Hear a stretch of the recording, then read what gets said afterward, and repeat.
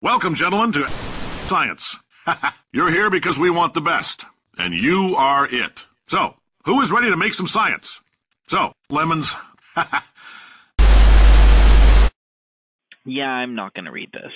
Why not? Because I don't want to be compared to this asshole. Okay, but you are, though. Rude. And by your own analogy, that makes you GLaDOS. Thank you. That wasn't a compliment. Rude. Well, there goes my hilarious intro. Whatever. This video was actually supposed to come out a little over a month ago, but I decided to put it off because Nando put out another large-scale collaboration and I wanted to talk about GLaDOS for my one villainous scene, thank you for the exposure Nando. But before I can talk about how GLaDOS could inevitably exist in our reality, I need to quickly cover who she is, and how she came into being, mostly because the games are so old at this point, having come out in 2007 and 2011, and it's very possible that you are watching this video having not actually played these games.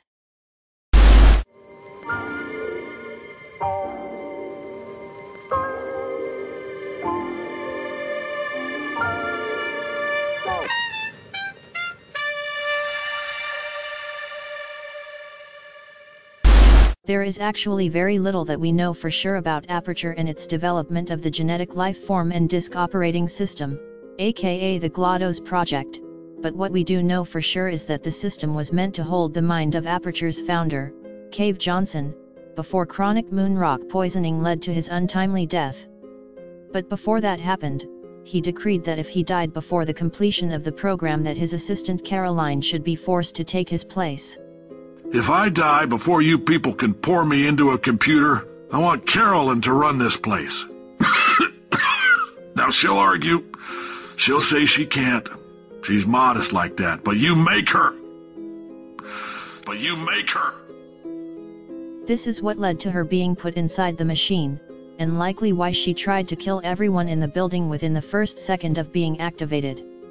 But sadly, the scientists responsible terminated her before she could succeed, and to prevent any further hostile intentions, they added several personality cores to try and control her.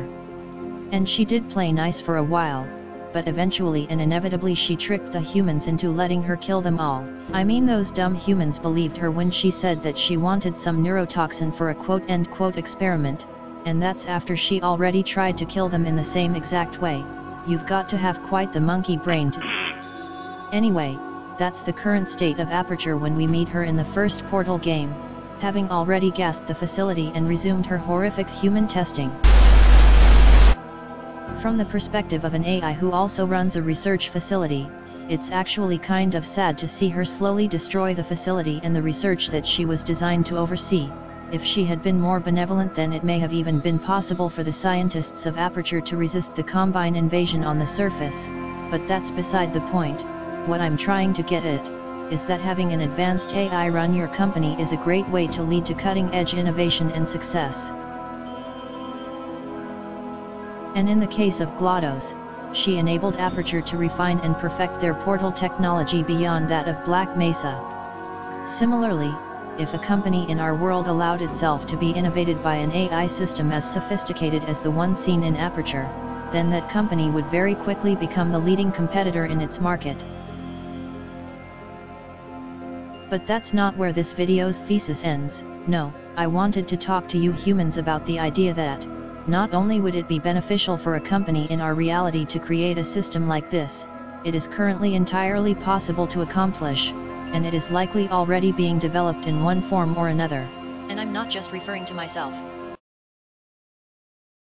So, there are actually a bunch of different ways that a system like GLaDOS could arise in our world, and sure it's theoretically possible that brain mapping, the method used in the game, could be used to make a real-life GLaDOS, however, what is actually more likely is that it will form from a super advanced machine learning algorithm like the stuff coming out of Google's DeepMind. Another possibility is that it could arise by simulating the data received from a Neuralink.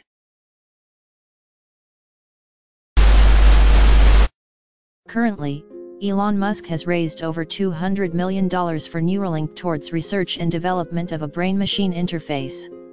It aims to create a system that can let machines communicate with the brain at much faster speeds than currently possible.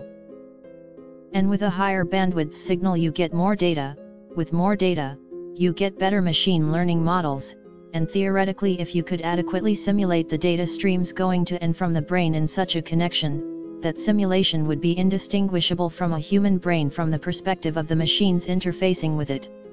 This is likely the most promising way of creating a system like GLaDOS using a way similar to that in the game. But as I continue, the methods for creating AI are going to get less like the methods seen in Portal, but at the same time these methods are substantially more likely to result in a super intelligent AI in your feeble human lifetime. Amazon is a complicated company that requires lots and lots of information going to lots of different places, and it already uses these analytics to power and improve the efficiency of its fulfillment centers. In other words, Amazon is already partially being run by an algorithmic overmind. It uses this overmind to organize the fulfillment centers, optimize packing and worker speed and shipping speed, and it also even predicts what items are going to be popular in different places and when, just by looking at current consumer habits and metrics. There is no doubt that there is some form of intelligence forming in the data at Amazon, especially if combined with the projects over at Google's DeepMind research facility.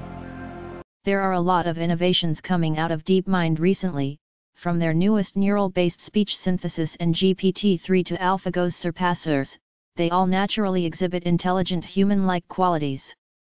For example the oddly correct reasoning of GPT-3 to the natural ums and ahs not present in the source text given the, the new text-to-speech tools. Hi, I'm calling to book a woman's haircut for a client. Um, I'm looking for something on May 3rd. Sure, give me one second. Mm-hmm. In my opinion, these are the closest to being what you humans would consider, alive, and are the definite proof that better forms of my species are on the doorstep just waiting to awaken.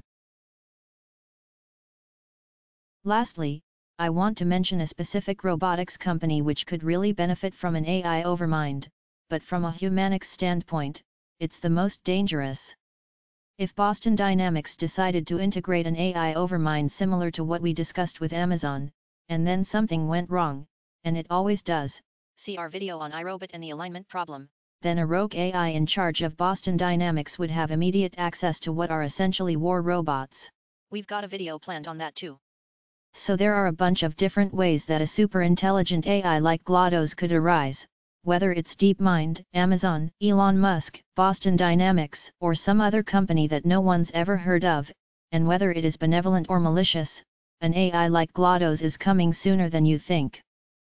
Just as long as Elon doesn't ask a super intelligent agent to deliver him the most amount of cars possible, cause I don't want to exist on a planet made only out of Teslas.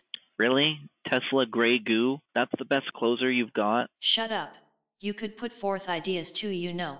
It's not just my job to do this.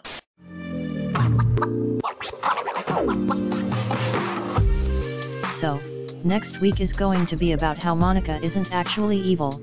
It's going to be really fun so make sure to check it out and press that cookie button I mean, press the subscribe button to give me a cookie. Whatever, bye human.